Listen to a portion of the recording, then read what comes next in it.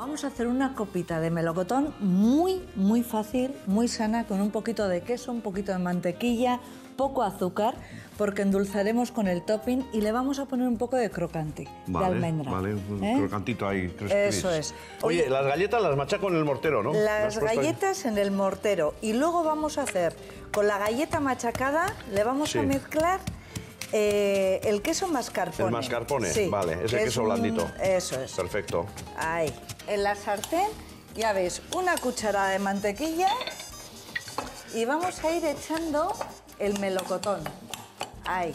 Esperamos a que el melocotón se ablande un Esto poco. igual, 5 o 8 minutos así, suficiente. Sí. Eh, un, un consejo. Si, por ejemplo, te gusta mucho el melocotón, pero no es la temporada, de lata. Ah, vale. Eso es. Vale, perfecto. Bueno, Lo tienes listo, unos 8 esto ya minutitos. está. Sí, Vale, nada. voy a apagar el fuego. enseguida que tome un poquito de color. A los que le- les añadáis un poquito de azúcar, se va a coger color más fácil. Ah. ¿eh? Tener cuidado. Aquí ha cogido este tono por el azúcar que tiene el propio melocotón.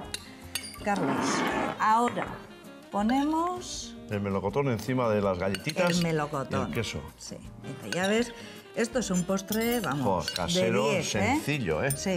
Y qué rico. Y con el melocotoncito. Ahora, bolita de lado encima. Bolita de helado. Ahí. Y ahora le vamos a dar el dulzor. ¿Con qué?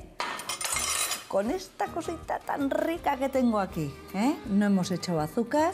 Este es el azúcar que va a llevar. Y ahora le vamos a poner el crujiente. Entonces aquí tenemos la muesca. Abrimos Y esto es crujiente de de almendra. almendras. ¿eh? Ah, un perfecto. crocanti de Un croca- almendra. Un crocanti de almendras. Exacto. Entonces, así ponemos generosamente y va a ser un postre que va a tener dulce, templado, ¿eh? Y crocante, y crujiente. crujiente, Y nos vamos a ponerle la mentita. la mentita que no nos puede faltar. bien. Venga, tú una, yo otra. Vale, Y de aquí perfecto. a la mesa, así. Bueno.